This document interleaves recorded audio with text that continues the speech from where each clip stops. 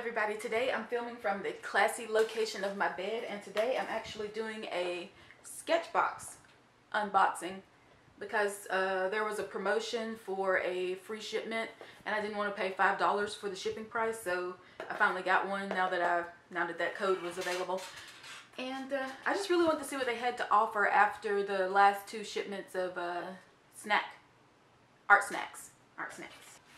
Which month is this from? PanPastels. I saw on, um, oh wait. There seems to be more stuff in here that I'm used to. Um, what is this? Wait, wait, wait. By the way, do anybody ever color these boxes? Yes. I don't really see myself doing that. Um, hmm. There seems to be more stuff in this box than usual. Maybe this is one of the grab boxes. I, I don't I don't know if I meant to order that. But it seems that I have it. I've always wanted to try these PanPastels and it looks like I've got blue and green. Ultra soft. Phthalo green and I can't read what the other one is with it like this. But it comes with a little booklet that tells you all the different colors. Erasable, mixable, functional packaging, friendly, low dust, instant color. I really, really wanted to try some of these. How much did I pay for this box? Was this a $45 box? I don't know. I don't know. Anyway, I'm excited to try. I know it's not the... I know I didn't order the premium, premium box. Because I got the basic box. A color brush with black ink. It seems to have a thin nib.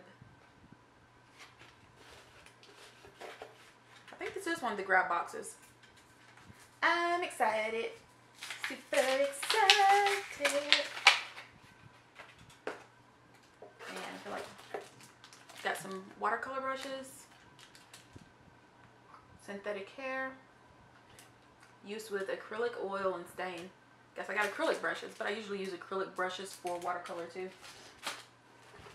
I've got a Le Plume green. It seems to have a bullet nib and a, because I don't think that's a brush nib. Uh, uh, right on myself Yeah. and a fine point.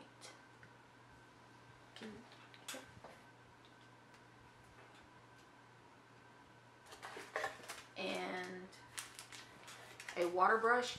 I have about five aqua brushes already, so I don't know, maybe this one will be different.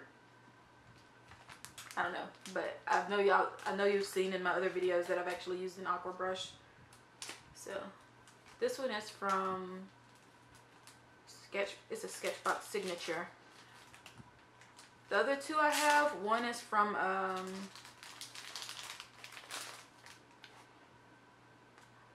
can't remember right now.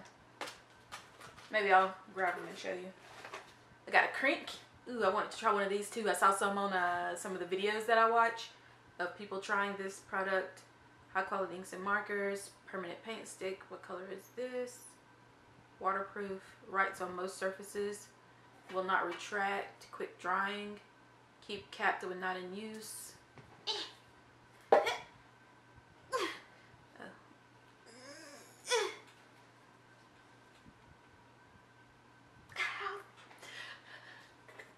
For heck's sake, does this screw off?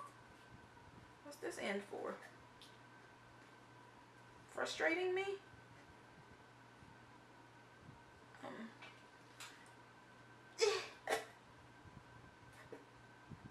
maybe one day I'll get this open. Um, yes, a Molotow. Yes. An art mistaking staking liquid pump marker. I've wanted one of these for so long because I don't really like using the um, brush uh, kind that comes in the bottle or whatever. Uh, yes. I think the grab box is, box is kind of a, a free-for-all. Le Pen drawing, designing, eh, I don't know. Technical drawing pen. Yes, yes, yes. Pigmented ink. Is this another black? Ooh, for cartooning, designing, caricature. Oh, caricature must just be cartooning in another language. What size nib did I get? I got a, another permanent marker, Ironlak, 0.4 millimeters. Small, so I'll know what size it is before I grab it out of my box. I have tons of drawing pins already. Oh, this one's kind of leaking. Can you see that? It's leaking and it's kind of fluffy. Like it's been used or something.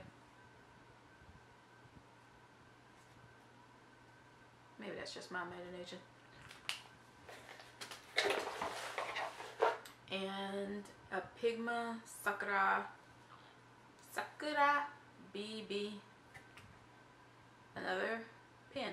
Not sure where a lot of pins in here. Is that everything? Yeah, everything else is just fluff. Alright, let me try out some of the stuff that I have. I'm, I'm, I'm going to have to get water for my aqua brush. And I'll see if I can find another one of my aqua brushes to bring it over here so you can see the difference maybe. Maybe so I can see the difference. Mm, let's see. And I also need to try out these brushes. I need to try out my PanPastels. I noticed that some videos people got these nice sponges and stuff that they could use with their PanPastels, but I don't have any of that. So I'm just going to use it with brushes and see how that goes. Maybe I'll find a sponge in my room somewhere, but I don't just tend to have sponges on hand. Maybe I have a makeup sponge that I can use that'll work. Be right back. Never tell if this thing's in focus when I'm not wearing my glasses. So everything might be a little bit blurry. Um, but in order to compare aqua brushes, I'm going to just call it aqua brush from now on, even though some people call it a water brush. This one is the one from Sketchbox Signature. And I noticed right off the bat, it's got a bit of a wider opening in it than some of the other ones that I have. And this little tunnel device that, lead, that leads the water right down to the brush in this squishier section right here for gripping and pressing the water out when you want more of the water to come out of the brush. Uh, I've got this one from um, Durant, Dur Derwent. It's a size 1. I have it in size 3 and 5 maybe. I don't know. Size 1, 2, and 3. I think I bought the 3 pack off of Amazon. And this one is one of the smaller size nibs. It has a, I have a medium nib one that's the same size as this one, but I don't know quite what I did with it. I have a tendency to misplace things. Frack, my battery's running low. Uh, this one is from Pentel. And you see it's got the same size brush on it, except the hairs aren't as white. It's got a narrower opening that I need to like squish in order to get the water in when I'm filling it up.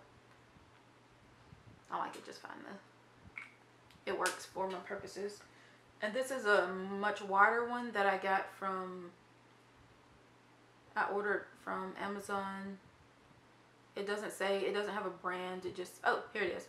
Kuretake. Oh, Kuretake. They're the same ones who made that uh, black pen that I got from one of my last snack box orders. So I guess it's a big company that makes just different art supplies.